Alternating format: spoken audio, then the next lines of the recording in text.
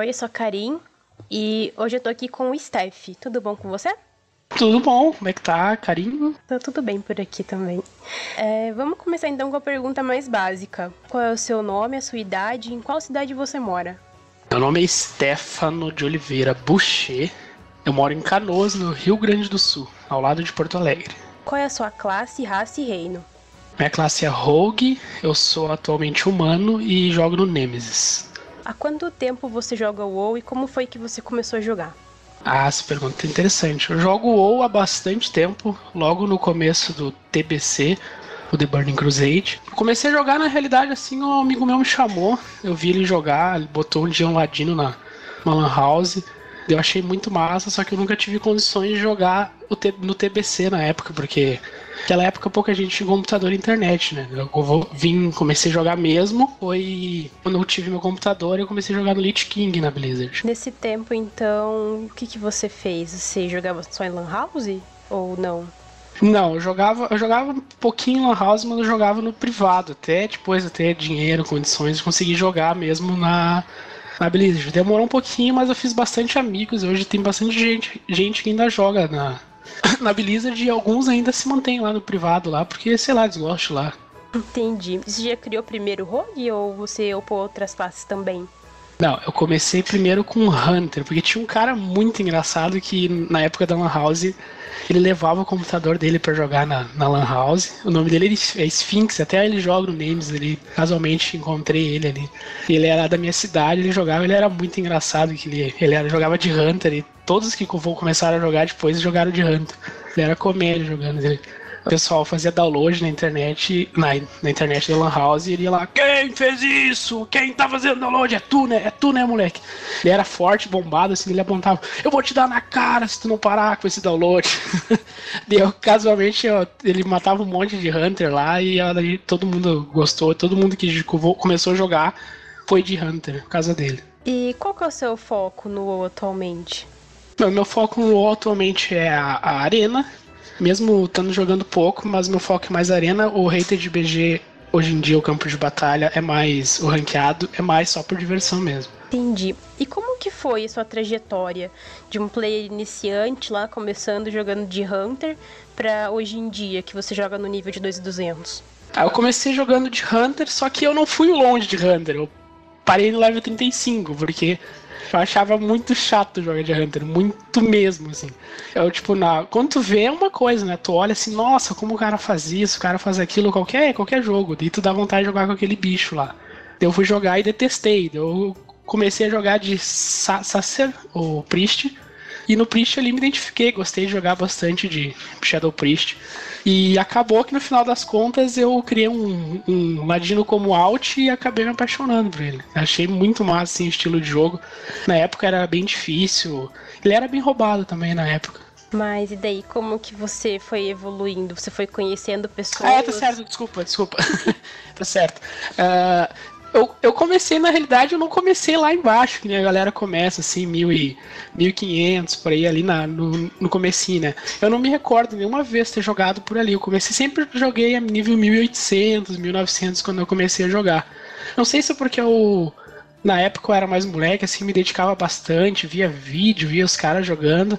E a partir disso eu fui conhecendo pessoas, né? E a hora que tu conhece pessoas, tu vai evoluindo e comecei a roubar o lugar dos outros moleques. Eu jogava ali e tentava sempre, quando pegava um grupo diferente, assim, de pessoas, uh, eu tentava ali mostrar que eu queria jogar melhor que os outros caras que ele colocava. Tipo, botava um ladino lá, eu queria sempre entrar no grupo e me tornar melhor que o outro ladino, para ele estar sempre me chamando ao invés de chamar o ladino. E acabou que assim eu consegui times de, de arena, times de BG, e assim eu consegui evoluir. Hoje eu jogo média de 2.300 ali. Entendi. E o que, que tá faltando para chegar no 2,400? Dedicação. É, é uma coisa que me falta um monte. Uh, não sei se é porque depois de um tempo tu acaba desanimando. E eu acho que principalmente falta dedica dedicação e achar outras pessoas com a mesma vontade e até mesmo responsabilidade de querer jogar sério, querer, querer evoluir mais. Né? E tempo também, tá tendo problema com o tempo? É, o tempo, às vezes, os horários que não batem, isso é bem irritante. Uh, mas eu acho que realmente tempo é uma coisa que é o que, é o que real, na real, o que tu mais precisa para te evoluir jogando arena é tempo. Antigamente eu jogava, logo quando eu comecei a, é, essa evolução, né, para subir, para jogar ali no nível 2200, 2300, eu fazia tipo 30, 40 arenas por dia. Essa semana, essa semana não, essa, agora numa semana se eu faço 30 é muito, eu acho que nem isso eu consigo mais fazer. Às vezes porque eu não tenho mais ninguém para jogar ou não tô com paciência mesmo, é bem cansativo jogar arena. Entendi. E, na sua opinião, quais são os fatores que limitam os brasileiros a ter uma rating mais alta do que o pessoal norte-americano? É, eu, eu acho que limita é exatamente o que eu falei antes ali, né? É a, é a paciência. O brasileiro é muito afobado no que, no que eles querem fazer. Eles querem ir, ir, ir, ir, vai, vai, vai. Isso que não, não é assim que funciona a arena. É, envolve muitos fatores, né? Envolve muita coisa para te evoluir na arena. Tu, fora, além do fato que tu depende de outras pessoas para te evoluir, uh, as pessoas têm que ter a mesma vontade que tu, senão não, tu não vai conseguir evoluir. E isso nos americanos eu vejo que eles são bem mais focados, eles jogam mais tempo ou arena, né? E isso faz com que eles se tornem melhores. E sobre o tão falado balanceamento e desbalanceamento de classes no PVP, qual que é a sua opinião? Tá, balanceamento e desbalanceamento sempre teve para para quem acompanha o jogo há mais tempo, existe isso desde o começo e eu acho que isso faz o jogo ser, se tornar ainda divertido. Porque às vezes tu pode ser o, o mais forte de todos e assim que entra um patch tu pode ser o piorzão de todos. Um dos exemplos atualmente é o Warrior, né? Que começou o Mission of Pandaria muito forte na arena, ganhava e batia em todo mundo, matava healer muito fácil, uma bobeada ele matava e hoje já não é muito do jeito que era no começo do, do MOP, né? E sobre os requisitos, quais são os requisitos que você considera que são os mais importantes para você ter um time de sucesso em X3? Acho que o, o requisito é dedicação, é crucial. Saber aquele papo meio que de jogador de futebol, assim, mano, tem que ter humildade e tal. Você tem que. Tu não pode achar que tu é melhor que todo mundo. Tu não pode.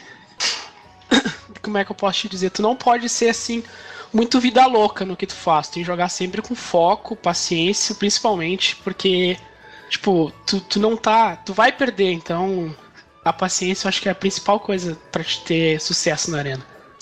E quais são as melhores comps que você considera atualmente nessa season? Ah, nessa season eu ainda acho que God Comp é uma. que é o Shatter Play também, que é Priest Mago e um healer, no caso, God Comp com Druida ainda acho que uma das melhores composições que tem nessa versão, né? E outra também é o famoso LSD, que é o Warlock, Druida e Xamã Elemental. São composições muito difíceis e outras comps cleaves que chamam, que é sempre um, um range de um melee, né? E depende muito. Tem KFC, por exemplo, é uma comp forte ganha de muito time ainda mesmo o estando fraco. E principalmente eu acho uma das comp composições mais difíceis de ganhar é o PHD, que é o Paladino, Hunter e DK. Qual que é a importância das Keybinds e dos addons no PVP? A Keybind, a Keybind dentro, de, dentro do PVP é crucial, né? Uh, porque tu tem que ter a liberdade de conseguir movimentar a tua câmera para te ver o posicionamento do teu adversário, ver o posicionamento do teu healer e no caso, os addons também são cruciais. Tem gente que tem aquele pensamento, ah, não, não gosto de usar addon. Olha, às vezes é bom, às vezes é ruim, depende da função, né? Já tem pessoas que adoram usar addon, mas eles brilham um monte de coisa na tela deles, eles não sabem menor, nada que está acontecendo. Então, além do fato de ser de keybind ser completamente importante, tu necessita. Se tu tá clicando em qualquer coisa na, no meio do combate, no meio da luta, tu já tá fazendo errado o PVP. O bom é sempre ter bind. E botão tem pra caramba, né? Tem os modificadores ali, shift, ctrl e alt, tem ali na tua mão esquerda tu consegue colocar muita, muita, muita bind. E sobre addon tu tem que usar o necessário e o que tu acha que realmente vai fazer diferença na hora, como como um Gladius, né, para te saber se o cara tem trinket ou não, isso aí é crucial. E tu não vai fazer campeonato nem nada no qual não exige que no caso, no campeonato, campeonatos da de PVP, a maioria deles eles não deixam usar addons. E tu não vai fazer campeonato, então tem que usar. Se tu acha que é bom, vai ser importante. Eu acho completamente importante vários addons que eu tenho. Controlar tempo de magia, trinket, essas coisas. Eu acho muito importante tanto Keybind quanto addon. Quais que você usa normalmente? Ah, eu uso como eu citei agora o Glad, né? Que tu vê o Trinket, tu vê o DR, que é o Diminish Return, para ver se nenhuma magia vai pegar com muita redução, ou se o cara não vai estar tá imune, né? É, mas principalmente é o Gladius e o Plate Buffs é o que eu uso. O Plate Buffs é para ver quais os meus buffs, quais meus debuffs está em cima do, do alvo, né? Naquelas plaquinhas de vida ali, quando tu aperta, acho que segura V ou Shift V, aumenta aquele ícone, aquele dali é um Plate Buff. E o meu ali, a única coisa que faz diferente é os ícones em cima. Daí ali eu consigo prestar mais atenção no ao redor daquele plate buff ali na, naquela foto, na câmera. É difícil explicar assim só em áudio. Mas ali, a hora que eu dou um stun, eu consigo prestar atenção em outras coisas sem precisar ficar focando só num canto da tela. Entendi. E o que, que você espera da sua classe no 5.4? Ah, eu espero que ela viva mais. é uma, é, chega até, até ser chato quando tu. Quando a gente conversou e tu me passou essa pergunta, eu já tava com isso na mente. Eu espero que ela sobreviva. Ah, atualmente o Ladino é uma das classes que mais tá apanhando, assim, tá apanhando, chega ao extremo, assim, tá apanhando muito, muito, muito, muito. Isso é completamente irritante. Porque qualquer outra. qualquer time que chega e vá só no Ladino, ele não consegue ser muito ofensivo, porque ele vai ter que usar muito goldado defensivo e assim que acaba ele já não vira nada, fica um saquinho de papel ali pronto para morrer a qualquer momento. Então eu espero que era, era que a classe melhore a sobrevivência, o dano do ladino tá muito bom, só que a única coisa que tá pecando muito é a sobrevivência. Teve alguma época que você parou de jogar com seu ladino por causa de nerf? Olha, eu nunca parei de jogar com meu ladino. Nunca, nunca parei, mesmo com os nerfs. Assim, ó, tu joga fica bem chateado com o que acontece com, o nerf, como esteja, faz parte do jogo, né? Uma hora teu, teu char tá bonzão, uma hora teu char tá, tá ruim. E depende muito, assim, da, da situação. Mas eu nunca, nunca parei, nunca parei. Eu tenho vários bilhões de classes ali, eu tenho um monte de classe mesmo, tenho todas com as specs ali. Mas eu sempre tento parar com o Ladino, na realidade, sempre quando acontece isso, mas eu nunca consigo, porque é o único personagem que eu sou bom. E para te ser bom na, no PVP, você tem que focar só em o char. Eu acho que é por isso que eu não consigo evoluir, porque eu começo a me irritar e começo a apanhar ali, tomar na cara pros outros times e eu acabo mudando de classe temporariamente, mas nunca parando com o ladino. E eu acho que nas suas horas o foco é muito importante para te evoluir. Entendi. Você acha então que a pessoa que tem muitos chars, dificilmente ela vai conseguir ser boa? Olha, de, depende o, o, na questão de boa, né? Se tu quer ser um gladiador, pra te ser um, gladi um gladiador a primeira vez, eu acho que tu não pode trocar de char nenhuma vez. Na minha opinião, assim, tu não pode trocar. Tem que focar, dominar 100% toda aquela, a, toda essa tua classe, conseguir, cara, as ações difíceis que antigamente era tu treinar e elas sejam naturais, tu conseguir ter uma visão de jogo ampla e, e tudo mais, assim, conseguir estar tá sempre adiantado no adversário, tu conseguir identificar que ele vai fazer aquela, aquela ação quando tu fizer a tua ação eu acho que pra te conseguir isso só jogando só é uma classe. Eu acho que tem quem tem várias outras classes não consegue assim se tornar no caso um gladiador. Fazendo uma comparação superficial entre a comunidade norte-americana e a comunidade brasileira, quais são as principais diferenças que você enxerga? Ah, a principal diferença é a crucial que todo mundo que acompanha o PVP sabe é de uma maneira geral eles são unidos. Eles têm foco, eles conseguem se juntar, como no caso, assim, os brasileiros, todo mundo sabe ah, onde é que fica o centro do PVE do, no Brasil, dos servidores. Ah, todo mundo fala Azralon. Por quê? Ah, não, porque aquelas guilds combinaram ir para lá. No caso do PVP, tem um monte de galera espalhada, tem uns caras que jogam muito bem aqui no Brasil, só que um tão, uns estão em uns servidores, não querem nem saber de brasileiro, outros estão para lá, outros estão para cá. Um, um, umas pessoas ainda são muito bobonas no quesito. Não, não vou pra aliança porque eu sou horda até morrer, e vice-versa. Eu não vou pra horda porque eu sou aliança até morrer. Eu acho que se a galera combinasse mais as coisas no, no, no sentido assim de. Pá, galera, aqui é o foco e tal, vamos todo mundo pra cá, pra gente ter uma diversidade de jogadores, diversidade de, de, de pessoas, assim, no caso, um é healer, outro é assim, outro é assim, outro é assim, mas se esse healer parar, eu tenho mais um monte de opções para jogar. Eu acho que a união do, dos americanos para a união do brasileiro é completamente diferente. Eu acho que por isso que ainda existe poucos jogadores brasileiros no nível assim bem alto. Entendi. É, num RBG é necessário que tenha um líder para dar o cal. Na arena, precisa de um líder ou cada um tem a autonomia para decidir aquela ação que vai ser executada no momento? É, ali o que cabe na, na, na RBG, além do teu líder para dar o cal para passar as coisas, né? Na arena realmente não existe um líder. Existe quem consegue perceber melhor o jogo. Às vezes o, o líder tem mais foco no RBG, comparando os dois, né? Às vezes o, o líder consegue perceber que se ele fizer aquela ação, ele pode ganhar o jogo. Na arena, um pode perceber que aquela ação vai dar completamente errada. Então ele não fala.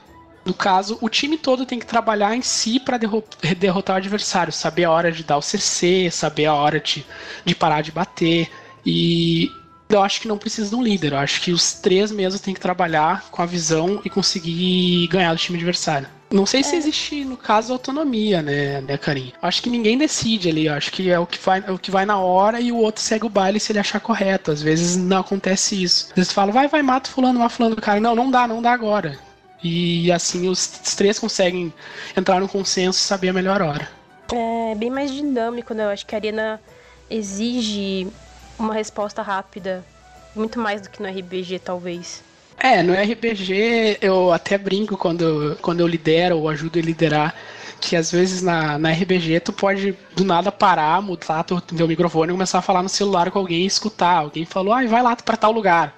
E tu vai, sei lá, conversando com a tua namorada e tu vai lá e faz o que tem que fazer. Na arena, não existe isso, né? Na arena é 100% de foco. Qualquer errinho bobo tu perde. Não existe passear pelo mapa, porque tu vai estar sempre na luta constante contra o, contra o time adversário, né? Eu acho que. A arena, como tu falaste, é bem mais dinâmico. Na, na arena é muito importante você ter entrosamento com o seu time, né? Não necessariamente, sei lá, uma amizade, mas respeito principalmente e conhecer bem a, a skill play do de quem tá jogando com você. Eu acho que isso facilita bastante também, né? Subir o rating. Sim, facilita muito. Tipo, uh, consegue, a gente consegue, quando joga nível mais alto e vai ajudar a galera que tá nível mais baixo, tu consegue perceber isso. Por exemplo, tu joga com uma pessoa que ela sempre. Deixa eu ver como é que eu posso dar um exemplo. Se o cara dá um poly no, na, naquela pessoa, tu sabe que depois ele vai dar sempre um contra-spell no adversário. E depois tu vai jogar com outro mago qualquer, por exemplo, e ele vai dar o poly, mas ele não vai dar o counter-spell. Daí tu tem que ficar pedindo pro cara, pô, cara, dá, dá o counter-spell. Entendeu? É, quando tu joga uma pessoa mais baixo, tu, tu não tem esse entrosamento e acaba dificultando mesmo.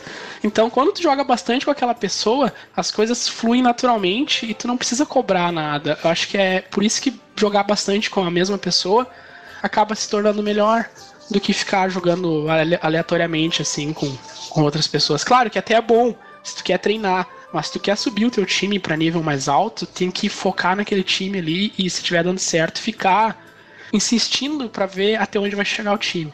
Entendi. Eu vou te falar uns tópicos então, e daí você me fala a sua opinião, beleza? Sim, senhora. Word PVP. Foi bom no LK e TBC. Random BG. É divertido quando tu vai com um monte de amigo. Sozinho é bem chato. Arena. A arena é legal, né? A arena é legal até certo ponto, até tu começar a pegar um time e perder umas 4, 5 vezes pro meu time, daí é bem estressante. RBG. Já foi mais divertido, já. Hoje em dia tá horrível. Isso aqui tá quase o treco da de frente com Gabi. Só o dia, noite, não. RPG foi muito massa. Só hoje tá, tá bem chato, assim. Não sei se é porque eu desanimei no meio da, da RPG, assim, mas eu achava mais divertido antigamente. Eu já vi bastante gente falando, principalmente nessa season, que desanimou de RPG. O que, que você acha que aconteceu pro pessoal desanimar em massa? Ah, eu acho que falta um pouquinho mais de, de, de, de apoio da Blizzard para fazer RPG ficar massa. Eu até hoje tô me perguntando por que entrou aquele nerf no, nos tanques lá pra em Warsong, Twin Peaks lá que já aumenta 50% do dano sofrido quando pega a bandeira. Eu acho que não, não tinha necessidade daquilo. Eu acho que eles deveriam corrigir outras coisas do que tentar inventar moda. E duelo na frente da capital? Eu acho horrível. Eu prefiro aprender dentro da arena, porque eu já domino minha classe quando eu vou contra o adversário. E duelo na frente ali eu não gosto, detesto, abomino. E o que eu sempre falo pro, pro pessoal que faz ali, para mim o duelo na frente das, das capitais, eles não são para aprender. Porque um cara de 1500 pode ganhar de um cara de 3000 de rating, por exemplo. O que prejudica ali na frente não tem a redução que tem dentro da arena, ou seja, um cara hum, pode, um cara pode usar Bloodline, exatamente. cara pode usar Bloodlust, o cara pode usar Leo Ranges, o cara vai curar 30% a mais, no caso 30% vai curar o que tem que curar mesmo, só que na arena sofre uma penalidade de 30%, né? Ou seja, para mim o duelo na frente da, das, das cidades é uma disputa de ego, e isso me irrita muito. Entendeu? Eu, quando eu vou fazer um duelo, eu chamo uns amigos e falo, cara, eu quero treinar, eu quero ver isso, isso, isso e isso. Eu não faço com uma pessoa aleatória, porque senão chega aqueles Rue Rue BR, né? Vai ali dar um duelo com quanto cara e tu quer testar um treco, tu acaba testando e acaba perdendo porque tu testou e não deu certo, né? E aquele, fala, aquele cara fala, ah, perdeu, seu lixo, seu lixoso, sai daí, seu ruchado, e blá blá blá blá blá blá. Então, eu não faço muito duelo, gosto de fazer, mas com meus amigos, assim, quando eles sabem que é uma coisa mais divertida, mas duelos aleatórios ali para mim, para ficar vendo quem quem tem o ego maior não é para mim. Respeito quem faço, óbvio, mas não, não é para mim. Entendi. Pra finalizar, você quer mandar algum recado? Abraços, beijos? Ah, eu quero mandar um beijo pra galera do Facebook lá que curte minhas bobagens lá que eu coloco. Quero pedir desculpa para quem me acompanha no YouTube. Uh, eu tô muito desanimado de fazer vídeo assim, por causa você já sabe a situação do meu ladino e tal, está bem chato mesmo. Todos que jogam de ladino sabem que tá meio, meio chato sobreviver, então não chega a ser divertido jogar com a classe. Mas agora o 5.4 tá chegando, pretendo publicar mais vídeo. Quero agradecer a Karim por me convidar, mesmo sendo estranho entrevista no sentido de, tipo, tá estranho, sei lá, vou ver como é que vai ficar na edição. Parece que eu fiquei meio robotizado, sei lá. Mas eu vou mandar um abraço para toda a galera que vai, vai curtir, vai ouvir e tudo mais. E um abraço para Karim com todo respeito, Jiraya. Opa, valeu. É isso aí, então, Obrigada por ter disponibilizado esse tempo para gravar aqui comigo, beleza? De nada, depois me dá o dinheiro lá. Ah, tá bom. Depois a gente depois te manda pro correio. é isso aí. Tchau, tchau. Tchau, tchau.